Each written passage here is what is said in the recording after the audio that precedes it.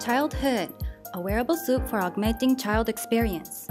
Have you ever thought about going back to your childhood?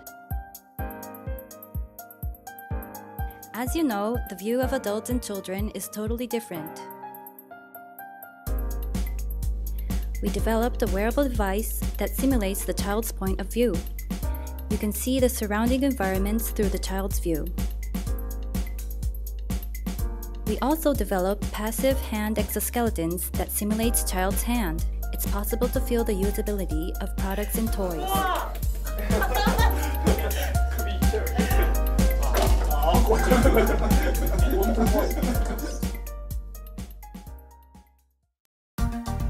The key idea is embodiment transformation, augmenting visual perception of the environment and haptic sensation to interact with objects.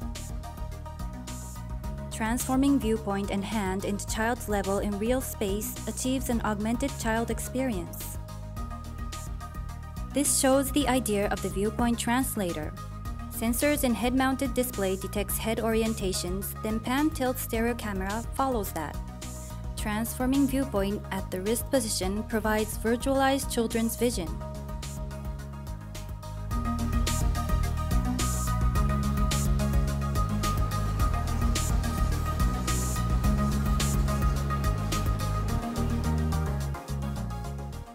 This shows the conceptual representation of the exoskeleton. It consists of passive link mechanisms without motors. This enables real-time haptic feedback.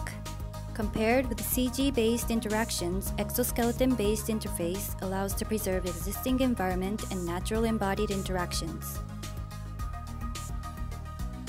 This shows the design procedure of the exoskeleton. At first, we analyzed finger motions by using a motion capture system. Then we designed a mechanical model and did a simulation experiment. Finally, the exoskeleton was fabricated by a 3D printer.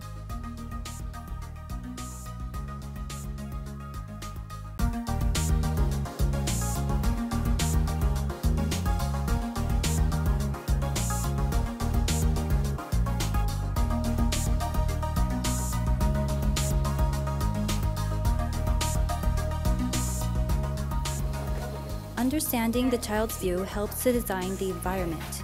We plan to use this system as an assistive tool for spatial design in a hospital.